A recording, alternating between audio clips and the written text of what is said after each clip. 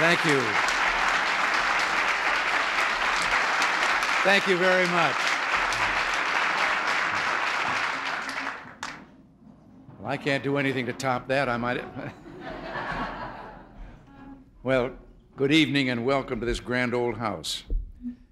I don't know how far any of you want to pursue your careers in politics, but I will tell you that living in the White House has one great advantage. When a big dinner like this is over, you're already home. And if I may say so, for one among us tonight, this dinner is a birthday dinner. Tricia Lott, best wishes.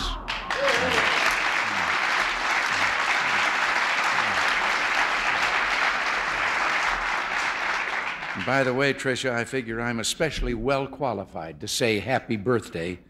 I've had so many myself. But it's an honor to welcome the, to the White House the freshman class of the historic 100th Congress. And while the House members and I met in the West Wing in December, this is the first chance we've had to get together with our spouses.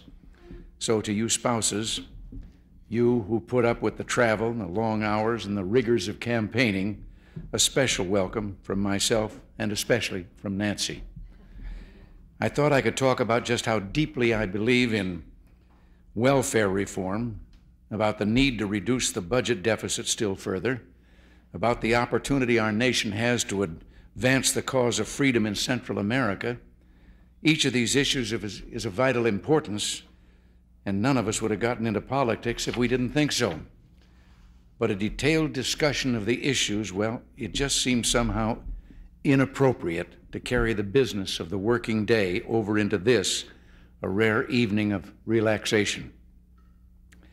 Then I thought I might talk about the need for bipartisanship. The American people gave the White House to the Republicans and the Congress to the Democrats. And that means the American people will demand of us that we work together. But to go further and talk about this or that upcoming vote, well, that too would have made this evening too much like the working day. So I thought instead I might say a few words about American history. Nothing very high flown, just a few words, if you will, about this house and its memories. A moment ago, I mentioned how good it is after one of these dinners to be able to go home just by walking upstairs. But there's something else about living in this grand old executive mansion, something that has to do with the two centuries of the American experiment in democracy. You see, when you go upstairs at night, here, somewhere in the back of your mind, you're always thinking about all those who preceded you in this house. And just down the hall from your own room is another bedroom, Lincoln's bedroom, furnished with pieces from his day. There's even the legend about the White House that Mr. Lincoln is still here. Now, as a matter of fact, people who've worked here for several presidents will go out of their way to tell you, yes, Mr. Lincoln is here. Now, before you start rolling your eyes, I want to tell you, don't worry, I've never seen him myself. but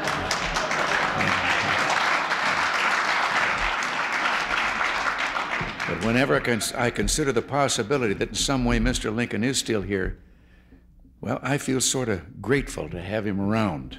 And come to think of it, there have been a few matters these days in which I would have liked his advice. As you know, I'll have a few words to say about these matters tomorrow evening when I address the nation from the Oval Office. But there are special moments in this house. Moments when the magic seems to descend and you can almost see those who once lived here. Except, of course, that it's not magic, it's, it's history. The memory of real people struggling with real issues, of real people, well, issues just as difficult as those that we're called upon to struggle with today. I guess that's what I wanted to share with you tonight the feeling you get living in this house that all of us are participating in a long and noble history, and that one day our children and grandchildren will look back upon us and remember. There was one president's wife who used to hang the laundry in this room.